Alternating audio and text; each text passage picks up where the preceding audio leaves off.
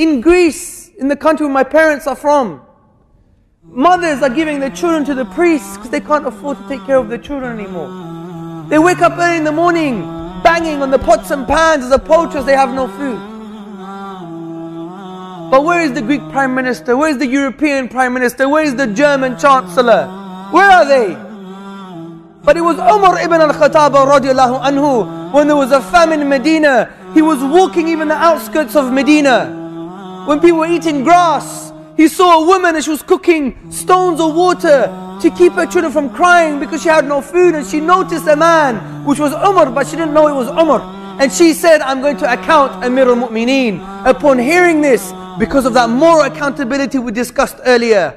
He went back to the Bait al-Mal, to the house of wealth. He collected the foodstuffs and he carried it himself and his servant said, Yeah Amir al-Mu'mineen, let me carry that stuff for you. And he said, You're not going to carry my luggage on the day of judgment.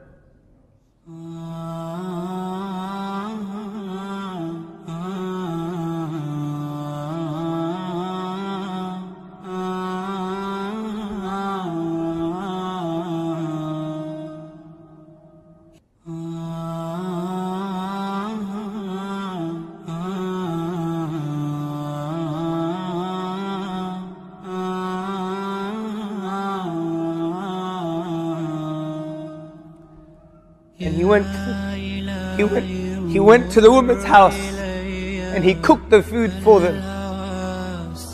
And then he slept nearby because he wanted to wake up to see the children smiling.